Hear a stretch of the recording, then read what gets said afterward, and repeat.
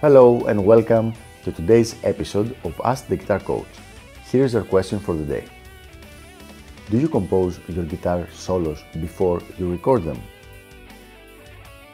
The vast majority, 95% or so of the time, I do not do that. I just start playing and just play whatever comes to my head until I kind of lose it and then pick up from where I left off.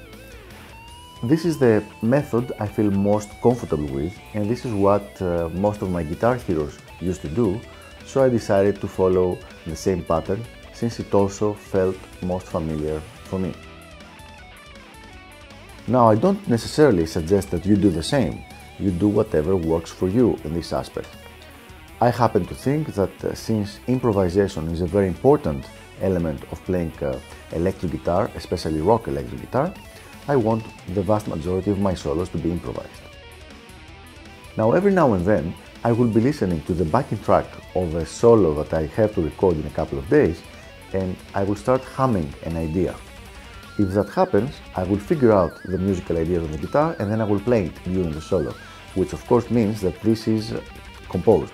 But this only happens like, I don't know, 5% of the time, probably no more than that. So thanks for listening and I'll see you next time in the next episode of Ask the Guitar Coach. Bye bye.